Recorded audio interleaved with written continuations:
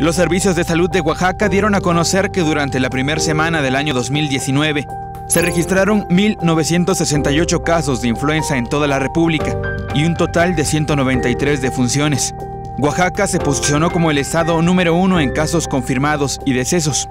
El doctor Vidal García Rendón externó que la enfermedad se puede llegar a confundir con un resfriado simple, lo cual puede hacer aún más peligroso para él o la paciente.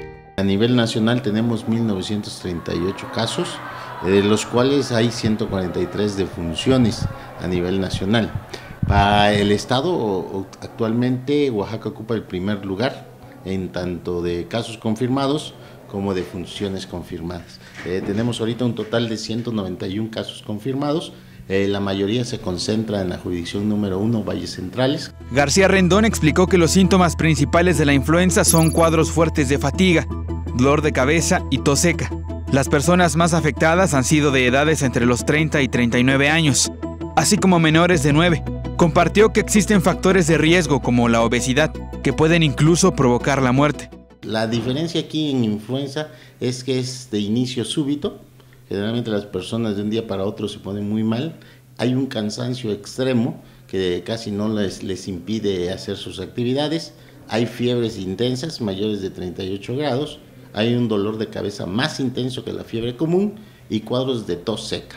Puede haber escurrimiento nasal, puede haber estornudos, este, cuerpo cortado, eh, los, cuadros, los síntomas leves de, un, de una gripe común, ¿no? Entonces por eso se pudiera llegar a confundir. Es importante que por eso ante cualquier síntoma lo, no se automediquen.